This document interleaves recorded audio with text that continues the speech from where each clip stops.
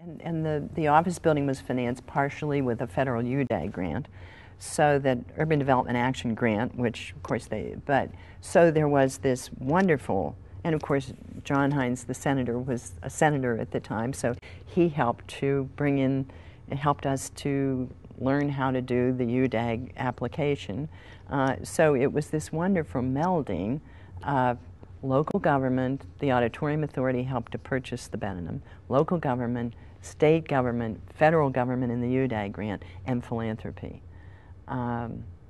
but it was the bringing of all of those interests together that was so unusual.